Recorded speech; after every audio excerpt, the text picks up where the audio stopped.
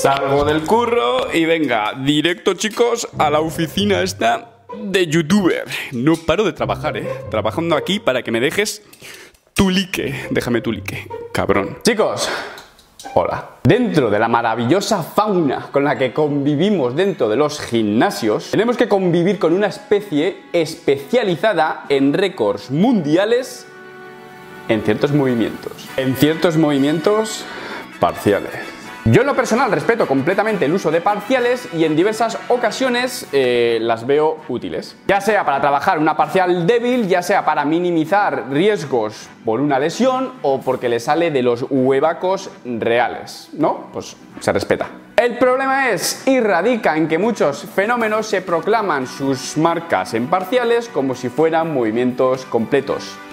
Y eso no.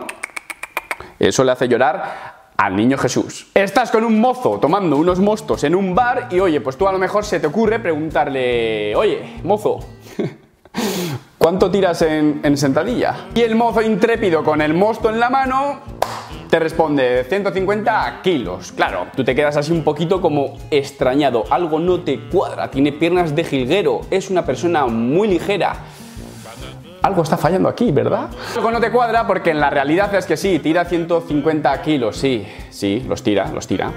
En los tres primeros centímetros de flexión de rodilla.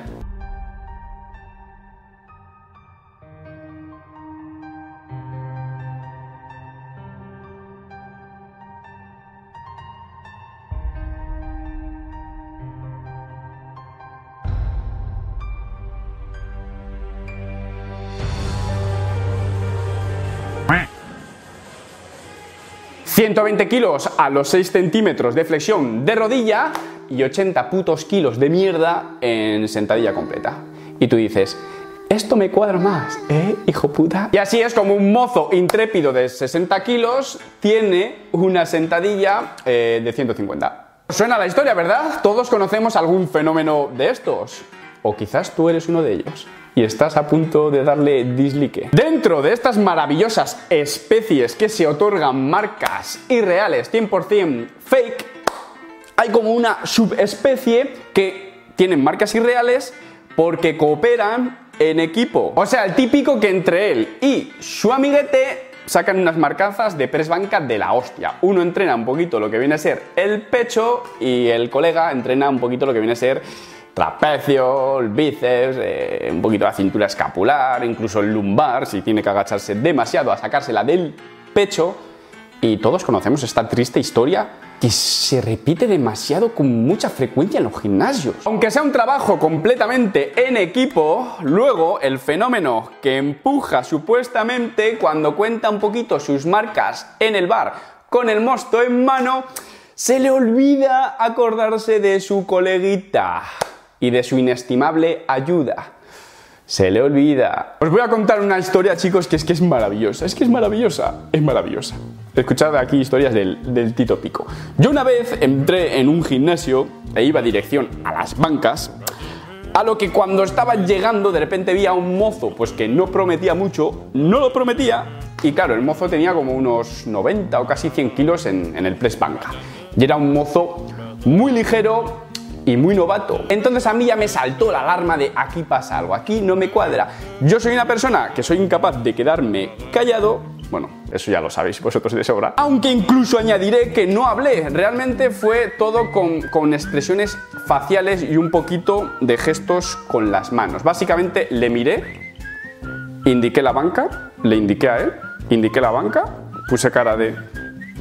Aquí pasa algo raro. Y el otro contestó, aquí, pecho álgido, en plan, calma, calma, que, que, está todo controlado. Yo seguía lo mío con una cara que era un puto poema, pero como soy un poco pute, pues ya andaba un poquito pendiente a ver cuándo tiraba la próxima serie para salir de dudas y ver que, qué misterio había ahí, porque yo estaba convencido de que ese chaval no podía con ese peso, estaba convencido y te estaba en lo cierto. Cuando fue a tirar la siguiente serie apareció un ayudante que obviamente estaba más fuerte que él porque obviamente iba a participar más en el levantamiento y la cosa es que entre los dos iban a hacer como una serie de 8 repeticiones aproximadamente donde el ayudante desde la primera repetición básicamente pues ¿qué le podía quitar?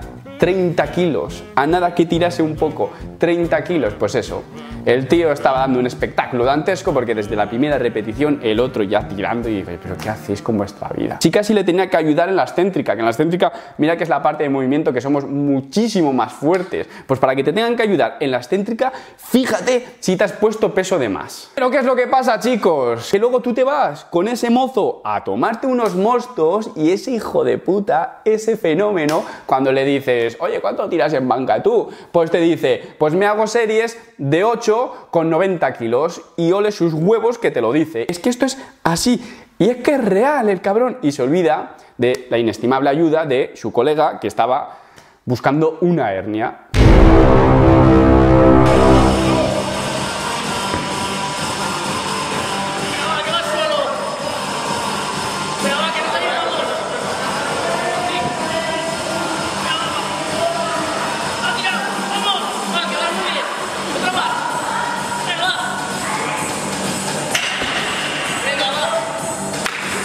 Pero tranquilos, que mi recital de historias no termina aquí. Otra vez apareció un fenómeno que yo no conocía. Yo estaba en el gimnasio, apareció y me pidió ayuda. Yo, obviamente, a un compadre, aunque no le conozca, yo le ayudo encantado de mil amores. Encantado. Porque ¿qué podía pasar? A lo mejor en la última repetición, pues ayudarle un poquito con los dedos, ¿no? Joder. ¿Quién se puede negar a, a ese tipo de ayuda? Es lo que pensaba yo. Y no, no ocurrió eso. Me cago en la puta. El fenómeno me dijo, vamos a 8 repes. Y yo le dije, muy bien, vamos a 8 repes. Toma, un pin. no, eso no le dije. Pero me lo dijo muy motivado, vamos a 8 repes. Claro, cuando dijo el vamos en plural es porque yo iba a participar en todas. Si en realidad no me estaba engañando, ¿eh? Estaba implícito ya en ese vamos. El cabrón básicamente había puesto su peso máximo, sí, sí, su peso máximo para una puta serie de 8 repeticiones, porque básicamente solo hizo una, solo bajó, subió, cagándose vivo, y yo dije, pero ¿cómo que vamos a 8 si solo puedes una, cabrón? Se cagó vivo y a partir de la segunda repetición, el Tito Pico, ahí en frío, pues tuvo que participar absolutamente en todas. Joder, que si vamos a 8. Me cago en la puta, 8 hernias. Claro, si tú coges tu peso máximo a una repetición para hacer 8, la primera la sacas, bien, la segunda a lo mejor ayuda un poco, la tercera un poco más, la cuarta, la quinta, ese cabrón se quedaba seco, con la barra en el pecho. Y no veas lo que costaba sacarla de ahí porque es que el cabrón se quedaba seco. Es que me cago en la puta. Una vez terminamos la serie, sí, hablo en plural, terminamos la maldita serie, sí, esto de que llevas un cuadernillo a veces a entrenar, pues yo me la tenía que haber apuntado también. Yo me fui un poco sorprendido, pero dije, bueno, no le voy a dar más vueltas, es un fenómeno de estos de gimnasio, una especie de esta autóctona que vive en los gimnasios y ya está. La cosa es que este fenómeno, como vio que era un buen esbirro, pues al rato, ¿qué hizo? Buscarme para volver a solicitar mi ayuda. Y ahí estaba yo, como un gilipollas, que dije, bueno, vamos a ver si es que ha calculado un poco mal el peso y esta vez ya lo ha ajustado mejor. Iluso de mí. Los cojones, me volvió a liar la misma. Y ya que estaba ahí, pues no le iba a dejar tirado. Pero ya esta vez me marché, obviamente, molesto. Pero chicos, la historia no termina aquí y este fenómeno me volvió a solicitar por una tercera vez. Hijo puta. Y yo lo siento mucho chicos, pero una vez vale. Dos quizás, pero tres, no. Y yo le dije, mira, o bajas peso o yo en estas condiciones no te ayudo, tío, no te ayudo. Se quedó con cara de perrito recién abandonado, con cara de, pero venga, hombre, si solo te estoy pidiendo ayuda en siete repeticiones forzadas, siete forzadísimas, siete, solo siete, solo. Cago en la puta. Pues bueno chicos, hasta aquí el vídeo de hoy, espero que os haya gustado mucho y si entre nosotros, entre los bikinis, tenemos algún fenómeno de estos, no me lo digáis. ¿Exiliados? No. Yo esto que querer a todos por igual, pero chicos, si sois un fenómeno de estos, no digáis por ahí que tenéis marcas que no tenéis, cabrones, que no tenéis. Pues nada chicos, como siempre os digo, muchas gracias por verme, os mando un saludo, un abrazo y hasta luego.